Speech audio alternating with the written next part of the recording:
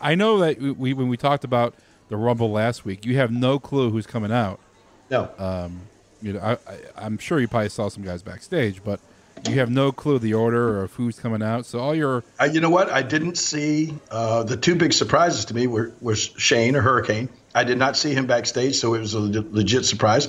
And the other, Rey Mysterio. I didn't see Rey backstage either, so he was a legit surprise. Well, here's my question, and I and I know you don't want you don't reveal that much, but I have a legit question. When when a person does come out, when their music hits, Michael Cole is like right on the money with their you know with introducing them, who they are, their nickname, you know what they've done.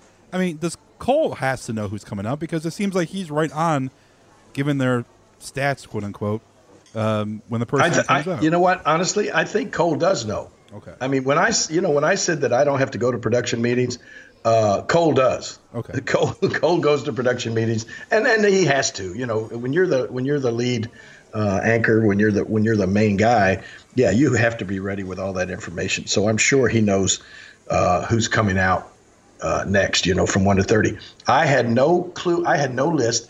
I went into this thing so unprepared. It was like, I, I honestly felt like they had forgotten that they had called me and told me to be at the Royal Rumble. I mean, nobody, I mean, I talked to people and everything, but nobody in charge.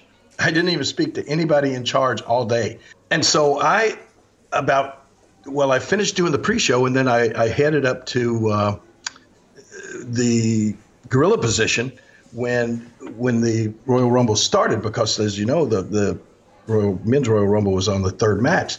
So I had my little, uh, you know, I went changed into my little old king uh, coat and the crown and all of this stuff, and and I just I went up there and started standing around, and you know, of course, the the, the show had started, and then. Um, Vince looked over and saw me, and he got up and he came over and said, "Hey, King, how are you?" Shook hands real quick, and then he went right back and sat sat down again. And and uh, uh, Michael Cole said, "Hey," and uh, so, well, no, Michael Cole was already out there, um, and so then.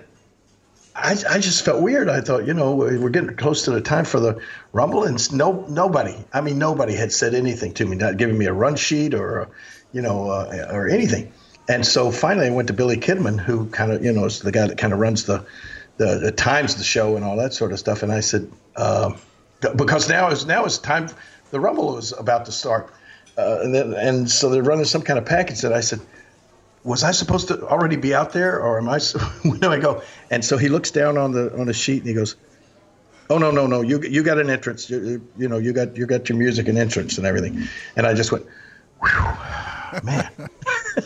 yeah, I said, "Oh, good. I, I really am supposed to be here. I haven't just dressed up for nothing and everything." So then, uh, so then, right after, just literally right after that, the, you know, they hit the music, and I went out, and I had not talked to anybody. I had not talked to Michael Cole. I had not talked to Corey Graves, uh, or anybody about what to say or what to do on the show. Had no clue what order of anything was going to happen. And and then I just I just took a I just had a uh, I turned one of my uh, one of my little pieces of paper that I took with me out there, turned it over, and I started writing down the names of the people as they came out and what order they were in. You know, and so that's that's how that's how that thing went. Wow, well, that's that's good for you because they trust you know, hey, that you're going to be ready no matter what. You don't need someone to go over what to say or anything that you can. Well, you you know what, you're exactly right, and I thought about that after the show. Um, like that was one of the things that Kevin Dunn always said about me. Uh, they that they really liked about me that I was I'm low maintenance. Right. They don't have to you know they don't have to worry about me. They got so many other other things that they have to worry about, but they you know they they don't have to worry about about me on the thing. So right. yeah, and it and it turned out good. Kevin Dunn, uh, uh, you know, I always like to ask afterwards and uh, you know what he thought of my my stuff, and he just sent me back one word, said awesome. So that made me feel real good. That's good.